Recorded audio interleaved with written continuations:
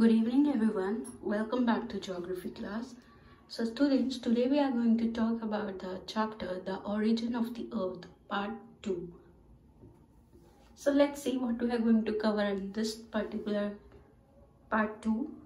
First we are going to talk about the modern theories that is the origin of the universe, evolution of the earth, evolution of lithosphere, evolution of atmosphere and hydrosphere last but not the least origin of life.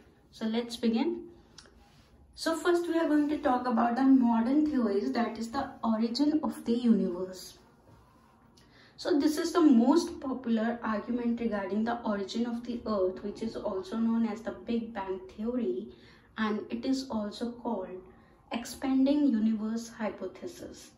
So edwin hubble in 1920 he provided evidence that the universe is expanding. So Edwin Hubble ने 1920 में क्या क्या एक evidence provide किया कि जो universe है, वो एक्सपेंड हो रहा है। जैसे जैसे टाइम पास हो रहा है, जो गैलेक्सीज हैं, वो और ज़्यादा दूर होते जा रही है। Okay so he had given the big bang theory and this theory have been the following stages in the development of the universe So let's see. So Big Bang Theory. So what happened in the Big Bang Theory? The first stage, the initial stage, what happened? जितने भी matter थे universe में formed हो रहे थे वो exist कर रहे थे एक प्लेस पे in the form of a tiny ball काफ़ी छोटे टाइनी बॉल में एक्सपेंड हो रहे थे एंड इनका जो टेम्परेचर था वो इन्फिनाइट था डेंसिटी थी वो भी इन्फिनाइट थी but at the big bang जो ये टाइनी बॉल थी जब ये एक्सप्लोर्ड हुई वायलेंटली वॉट हैपन एक ह्यूज एक्सपेंशन हुआ। अब ह्यूज एक्सपेंशन से क्या हुआ कि जो आपकी बिग बैंग थी वो 13.7 billion years before the present उसने टाइम लिया इसको बनाने में। सो so, ये जो एक्सपेंशन था कॉन्टिन्यू है even to the present day अभी भी ये प्रेजेंट है। एज इट ग्रू जो कुछ उसकी एनर्जी होती है, वो मैटर में कन्वर्ट हो जाती है। And they was particularly rapid expansion within fraction of second okay what happen thereafter the expansion has slow down जो एक्सपेंशन था, वो धीरे हो गया था। And within the first three minute from the big bang event जो first atom था, वो बनना स्टार्ट हो गया था।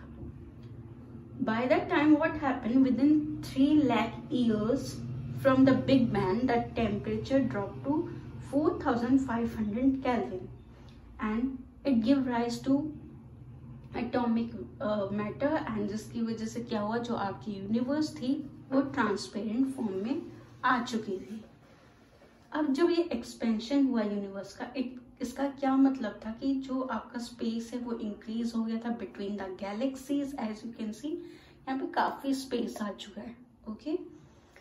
and it is considered that the universe to be roughly the same at any point of time.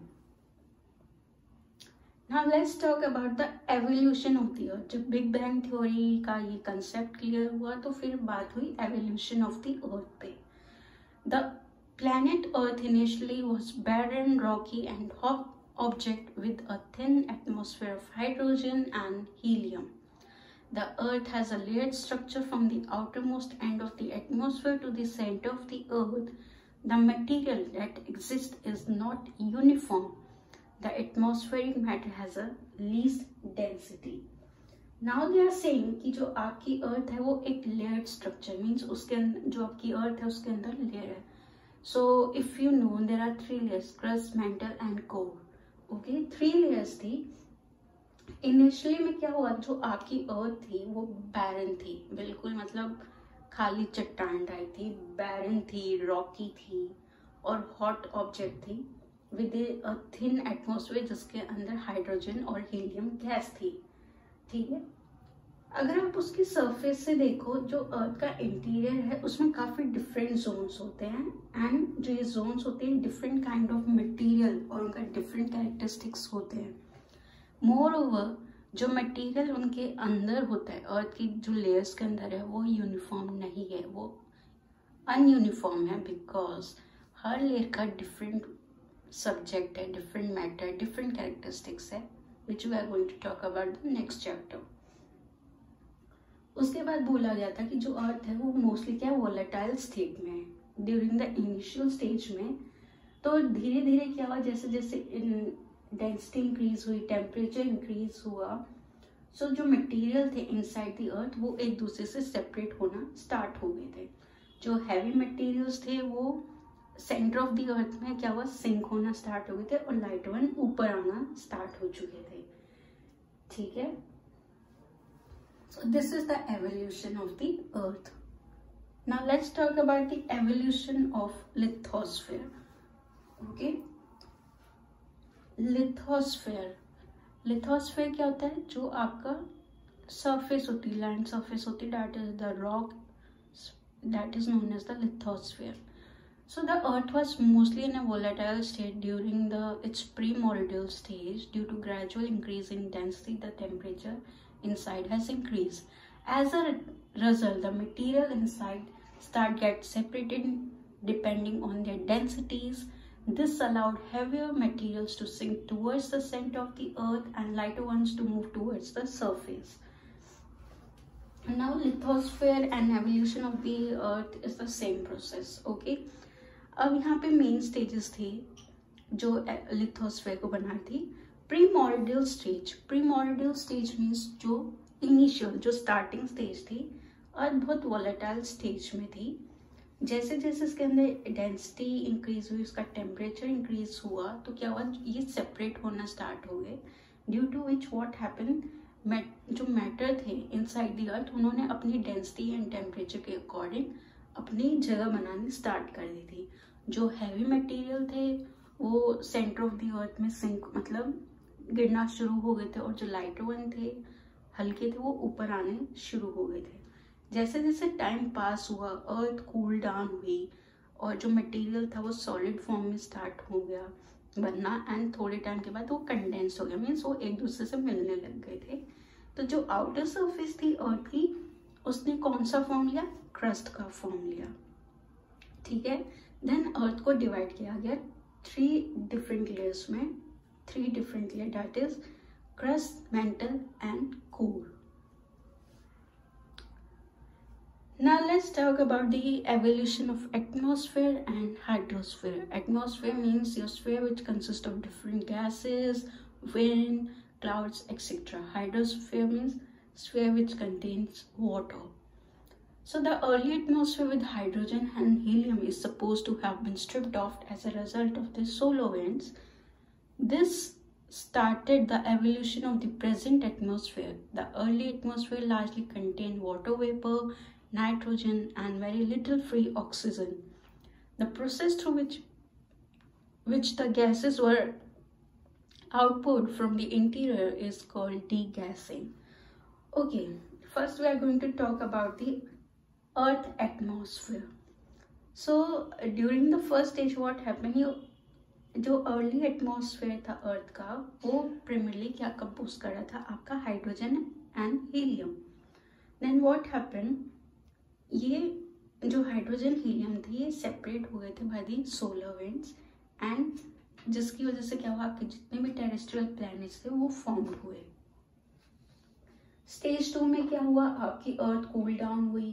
काफ़ी सारी gases जो है रिलीज़ हुई इनसाइड द अर्थ एंड उन्होंने क्या, जो गैसेस थे वो क्या कंटेन कर रही थी inside the earth water vapour nitrogen carbon carbon dioxide methane ammonia amount of oxygen okay now what is degassing degassing क्या होता है? जो प्रोसेस होता है, जिसमें जो गैस होती है इनसाइड द अर्थ जब वो ऊपर आती है that is known as degassing okay stage three में क्या हुआ?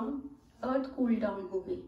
वाटर वेपर जो थे, वो कंडेंस होना स्टार्ट हो गए थे और हैवी रेनफॉल होना स्टार्ट हो गई थी. जो कार्बन डाइऑक्साइड के साथ मिलके एक रेन वाटर फॉर्म करने लगी, जिसकी वजह से क्या हुआ, जो आपका एटमोसफेयर है has lost its carbon dioxide okay and यहाँ पे क्या होने लग गया रेन वाटर सॉरी रेनफॉल होना स्टार्ट हुई तो जो प्रोसेस था फोटोसिंथेसिस का, वो भी होना स्टार्ट हो चुका था। Now let's talk about the origin of life. Origin of life the last phase in the evolution of the earth relates to the origin and evolution of life the record of life that existing on this planet is different period is found in rocks in the form of fossils.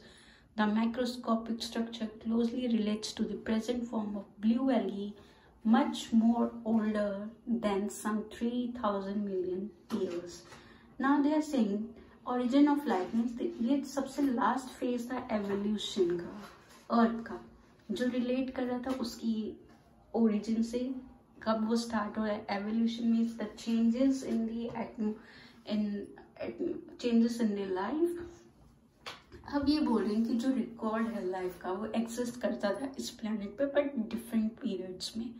और ये जो periods थे, हमें कहाँ देखने को मिले? Rocks में in the form of fossils for example you have seen the geographers the scientist जब वो रॉक्स को फाउंड करते हैं तो कैसे आइडिया निकाल लेते हैं कि ये जो रॉक है, इतने साल इतने साल मिलियंस पुराना है, कितना?